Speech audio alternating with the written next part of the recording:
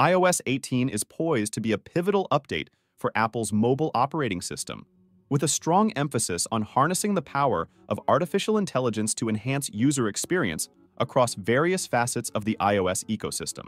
Despite its official unveiling scheduled for the June 2024 Worldwide Developers Conference, tantalizing details have already emerged, generating significant anticipation among tech enthusiasts. Apple's keen interest in advancing AI technology is evident, particularly in response to the growing consumer fascination with generative AI products like ChatGPT. With AI becoming increasingly integral to daily interactions, Apple is expected to leverage AI and machine learning advancements to revamp numerous apps and features within iOS 18. Reports suggest that Apple is pouring substantial resources into developing large language models, signaling a commitment to bolstering in-app functionalities through AI-driven innovations. Insider insights from Bloomberg's Mark Gurman hint at iOS 18 being a relatively groundbreaking update, with promises of major new features and designs.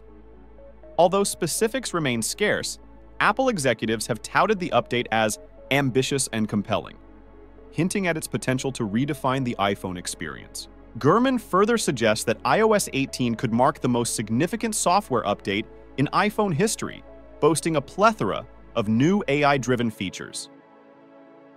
Apple CEO Tim Cook's acknowledgement of the company's substantial investments in AI research underscores its commitment to staying competitive with industry leaders like OpenAI.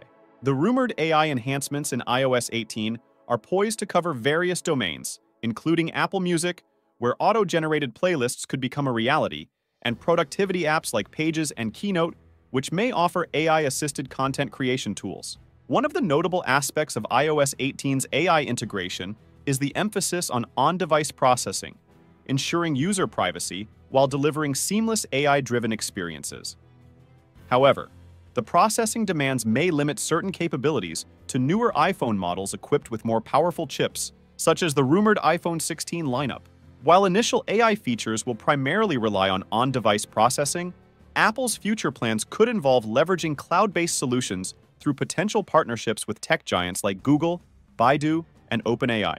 Discussions regarding integrating Google's Gemini AI engine and licensing large language models underscore Apple's ambition to enhance its AI capabilities further. Siri, Apple's virtual assistant, is poised to undergo a significant transformation in iOS 18 leveraging large language models to enhance natural language processing and user personalization.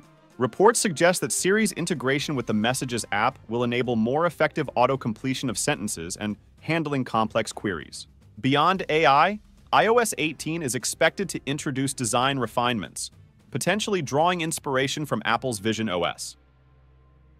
Notable changes may include a more customizable home screen, allowing users greater flexibility in organizing app icons and layouts. Additionally, Apple Maps is rumored to receive new features like custom routes and topographic maps, catering to users' diverse navigation needs.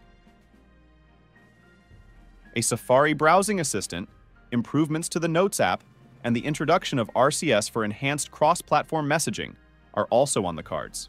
The accessibility front is not overlooked, with iOS 18 and macOS 15 set to introduce adaptive voice shortcuts and other features aimed at improving usability for individuals with diverse needs.